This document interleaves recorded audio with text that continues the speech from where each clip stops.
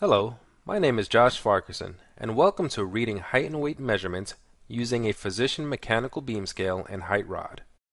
In this video, I will show you how to use a teaching tool to help students to read height and weight measurements on a beam scale and height rod.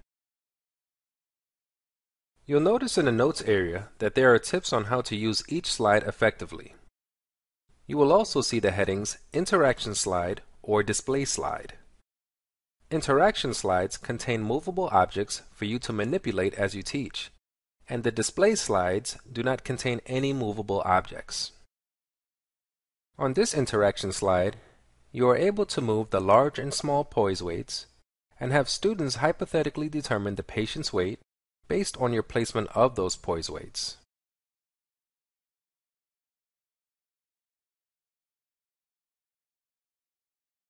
Keep in mind that I am currently in PowerPoint's edit mode, which allows me to select the preview slides and move objects on my slide. You want to remain in edit mode while sharing the screen with your students. To use this interaction, first adjust the zoom level using the controls located on the bottom right of the window to about 200%. You want your students to be able to see the quarter, half, and three-quarter marks located on the upper poise bar. Then, click on any of the poise weights and use your keyboard arrows to move the poise weights from left to right. For more precise control of the poise weights, hold the Control key while using the arrows. Here, I am not using the Control key, and notice the placement isn't very precise. However, now that I am holding the Control key, you can see that the placement of the poise weights is much more precise.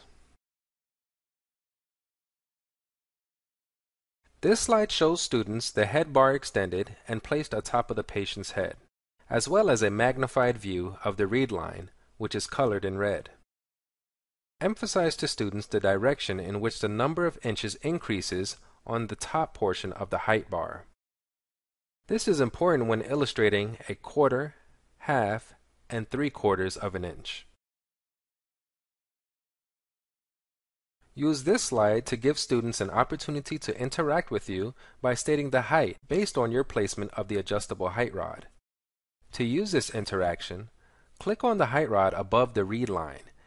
Then use your keyboard arrows to move the bar up and down.